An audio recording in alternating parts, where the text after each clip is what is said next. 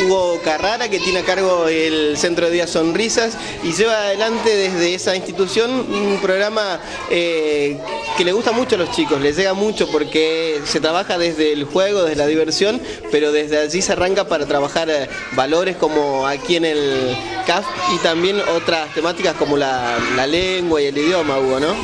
Sí, ahí estamos en Sonrisas, tratando de encontrarle la vuelta junto con los chicos a la, una manera de aprender que sea distinta y que pueda mm, tener eh, consecuencias en la manera de pensar la realidad con el objetivo de transformarla. Y hoy vinimos acá de invitados y vinimos con los payasos, porque los payasos son también maestros del Sonrisas. Entonces, eh, con los payasos andamos recorriendo mm, eh, mundos y venimos a saludar a los chicos y a jugar con ellos y vamos a tratar de llevarlos a pasear un rato por el mundo de los cuentos, de los cuentos que nos contaban las abuelas. Y en el Sonrisa, ¿cómo les va a los payasos con esta, estos problemas que suelen encontrarse en matemáticas? Y les va mejor que lo que nos va a los que no somos payasos,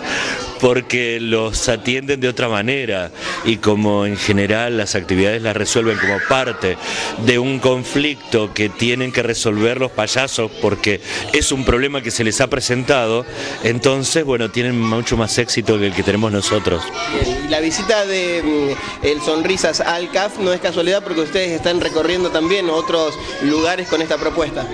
Claro, estuvimos este sábado que pasó en La Lola, en la comunidad aborigen, que fue creo que bueno, hicimos una función de una obra, Payasos de Cuento, y creo que fue la más bella función que hemos hecho en nuestra vida. Eh, hemos disfrutado muchísimo junto a la gente que fue, con adultos, con niños, y ahora seguimos el recorrido porque mañana hacemos una función en el SIC